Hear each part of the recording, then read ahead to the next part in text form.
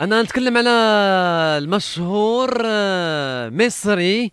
الله على أخلاقك يا صلاح. يا مو مو يا مو صلاح. إيه عمو صلاح. كع الكاف عمو صلاح. كع المصريين عمو صلاح. تعال عطاري كع كاعي كاعي غنتي لا هو بطريقة غير مباشرة. كع صاحبه اللي معاه في ليفربول اللي. وصل البارح لمصر. ساديو ماني والمناسبة هي جائزة الأفضل في إفريقيا اللي غادا تسلمها اليوم الكاف. فنتكلم بالضبط على موقف عمو صلاح. الله على أخلاقك يا صلاح. علاش غبتي؟ علاش؟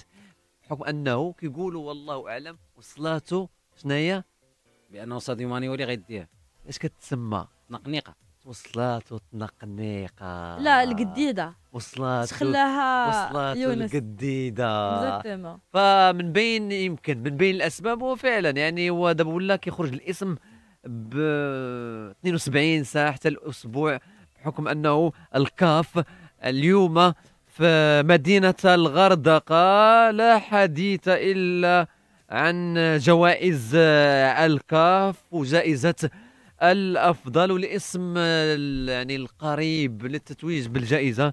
الأمر كيتعلق بساديو ماني ولكن في المنافسة كاين الجزائري رياض محرز. محرز كمرشح ثالث لجائزة الأفضل. غضب مصري بحكم أنه حتى المصريين كانوا كيتس... خاصة المسؤولين في في القطاع السياحي في مصر كانوا كيتسناو الحضور ديال عمو صلاح.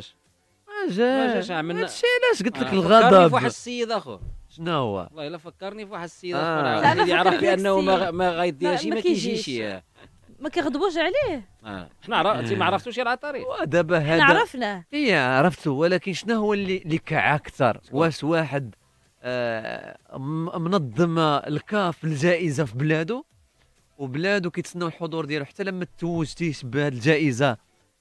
كاين ما هو ترويج سياحي للبلاد. صحيح.